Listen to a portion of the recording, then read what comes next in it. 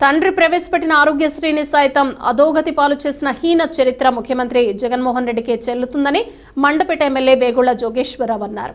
Mandapeta Telugu Desam party కార్యాలయంలో ఏర్పాటు చేసిన మీడియా సమావేశంలో ఆయన పాల్గొని మాట్లాడారు. ఆసుపత్రి బిల్లు వెయ్యి రూపాయలు దాటితే పూర్తిగా ఉచితమని ప్రకటించిన జగన్ ఆ హామీని ఎందుకు నిలబెట్టుకోలేకపోయారని ప్రశ్నించారు.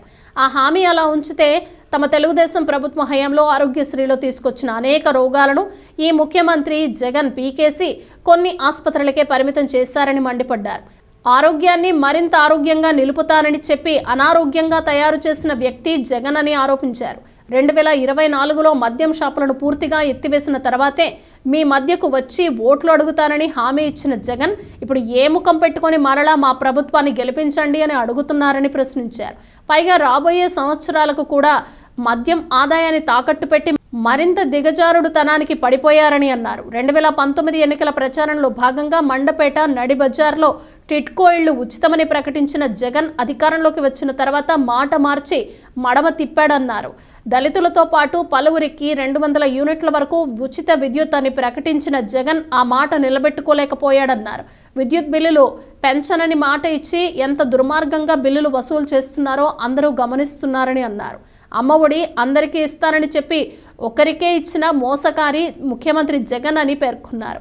అది కూడా ఒక సంవత్సరం మాత్రమే అందరికీ ఇచ్చి ఆ తర్వాతి సంవత్సరం నుండి కుంటి సాకులతో అనేక మందికి మొండి చేయి చూపాడన్నారు.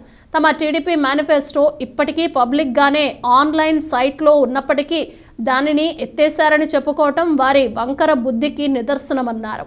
ఇంకా చెప్పుకుంటూ పోతే అనేక మోసాలకు జగన్ పాల్పడ్డాడని అయినప్పటికీ ఇచ్చిన హామీలు తొంభై తొమ్మిది శాతం అమలు చేశారని జగన్ చెప్పుకోవటం సిగ్గుచేటన్నారు. ముఖ్యంగా జగన్ ఈ రాష్ట్రాన్ని అప్పుల కుప్పగా మార్చి రాష్ట్ర ప్రజల భవిష్యత్తుపై సైతం నీళ్ళు చెల్లాడన్నారు. అక్కడ జగన్ అలా రాష్ట్రాన్ని నాశనం చేస్తూ ఉంటే ఇక్కడ ఎమ్మెల్సీ తోట త్రిమూర్తులు వందల కోట్ల అవినీతికి పాల్పడుతూ నియోజకవర్గాన్ని గుల్ల చేస్తున్నారన్నారు. కేశవరం అక్రమ గ్రావెల్ దోపిడీ ఇంకా కొనసాగుతోందన్నారు. మొన్నటి వరకు వేల సంఖ్యలో మట్టి తరలి వెళితే ఇప్పుడు వందల సంఖ్యలో వెళుతోందన్నారు. మరోవైపు ప్రతిరోజు ముప్పై నుండి నలభై లక్షల వరకు ఇసుక పేరిట ఎమ్మెల్సీ తోట దోచుకుంటున్నారని దుయ్యబట్టారు. ఈ వైసీపీ దౌర్జన్యాలకు ప్రజలు చరమగీతం పడే రోజులు దగ్గరలో ఉన్నాయన్నారు. టీడీపీ జనసేన సంకీర్ణ ప్రభుత్వం పులివెందల్లో సహా నూట డెబ్బై ఐదుకు నూట డెబ్బై ఐదు స్థానాల్లో గెలిచి ప్రభంజనం సృష్టించడం ఖాయమని ధీమా వ్యక్తం చేశారు. ఈ సమావేశంలో మాజీ మున్సిపల్ చైర్మన్ చుండ్రు శ్రీ వరప్రకాష్ పట్టణ టీడీపీ అధ్యక్షులు ఉంగరాల రాంబాబు టీఎన్టీయూసీ నాయకులు మాదా ప్రసాదరావు బండి గోవిందు తదితరులు పాల్గొన్నారు. ఇసుక దోపిడీ గ్రావిల్ దోపిడీ. ఇక్కడ మన మండపేట నియోజకవర్గంలో మీ ఇన్ఛార్జి శ్రీ తోట త్రిమూర్తి గారి ఆధ్వర్యంలో మరి సుమారు కేశవం నుంచి ఈవేళ కూడా దోపిడీ జరుగుతూనే ఉంది. రెండు నెలల నుంచి జరుగుతూ ఉంది. మరి దాని గురించి ప్రశ్నిస్తే మమ్మల్ని పోలీస్ స్టేషన్లో పెట్టారు తప్ప పోలీసులు కాపలాగా ఆ యొక్క దొంగతనానికి ఆ దోపిడీకి మద్దతు ఇచ్చారు తప్ప ఈవేళ కూడా ఆఫ్ చేయట్లేదు జిల్లా యంత్రాంగం కానీ పోలీస్ యంత్రాంగం కానీ రెవెన్యూ యంత్రాంగం కానీ విజిలెన్స్ యంత్రాంగం కానీ మైనింగ్ వాళ్ళు కానీ ఎక్కడా సమాధానం చెప్పట్లేదు. మరి ఈవేళ కూడా రోజు అప్పుడైతే రోజు వెయ్యి నుంచి పన్నెండు వందల లారీలు లేవి. ఈవేళ ఐదు వందల నుంచి ఆరు వందల లారీలు.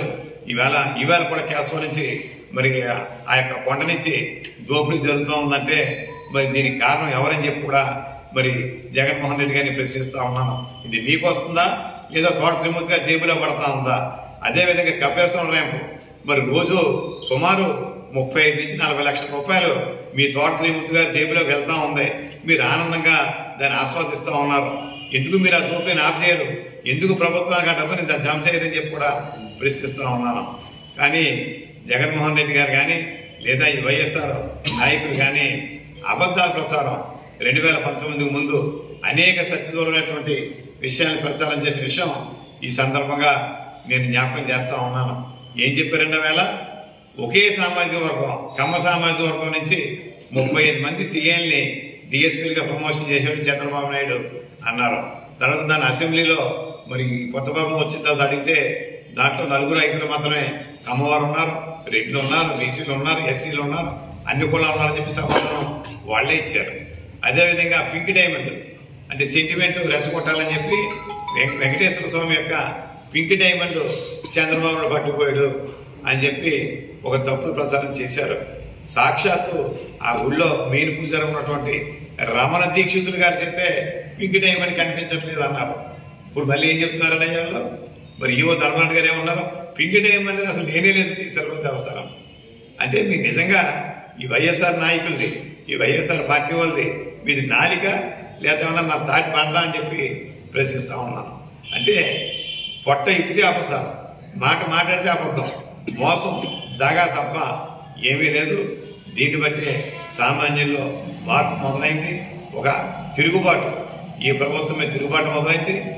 ఈ తిరుగుబాటు ఒక మహా ప్రళయంగా మారి మీ యొక్క సింహాసనాన్ని కదపడానికి ప్రజలందరూ కూడా తమ ఓటు హక్కు ద్వారా ఎలక్షన్ ఎప్పుడు వస్తుందని అని చెప్పి ఎదురు చూస్తూ ఉన్నారు.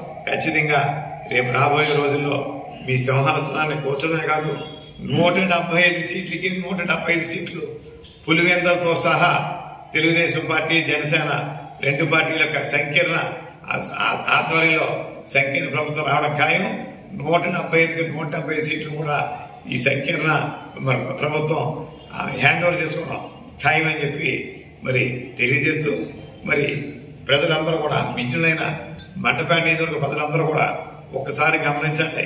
కేశవరం గ్రామాలు ఇది వాస్తవం కాదు. మీరు ఒకసారి నలభై మూడు గ్రామాల నలభై రెండు గ్రామాల నుంచి కేశవరం మిగిలిన నలభై గ్రామాల నుంచి వెళ్ళండి అదేవిధంగా కపేశ్వరం ర్యాంపు ఈవేళ రోజుకి మరి ముప్పై నుంచి నలభై లక్షల రూపాయలు తోట త్రిమూర్తి గారి జేబులోకి పడుతుందో లేదో అందరూ మీరందరూ వెళ్ళండి అలాగే మండపేట పట్టణం ముప్పై వార్డుల నుంచి కూడా వైఎస్ఆర్ కానీ లేదా తెలుగుదేశం అభిమానులు లేదా మన సామాన్య ఓటర్లు అది వెళ్ళి వాకప్ చేయండి.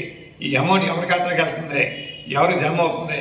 ఒక్క రెండు గంటలు మీరు అక్కడ పరిశీలన చేస్తే విషయాలన్నీ కూడా అందరికి అర్థమవుతాయని చెప్పి తెలియజేసుకుంటూ మరి రాబోయే రోజుల్లో మండపేట నియోజకవర్గంలో తెలుగుదేశం జనసేన మరి ఉమ్మడి అభ్యర్థికి మంచి మెజార్టీతో మంచి మెజార్టీతో మరి అత్యంత మెజార్టీ గెలిపించాలని చెప్పి అందరికీ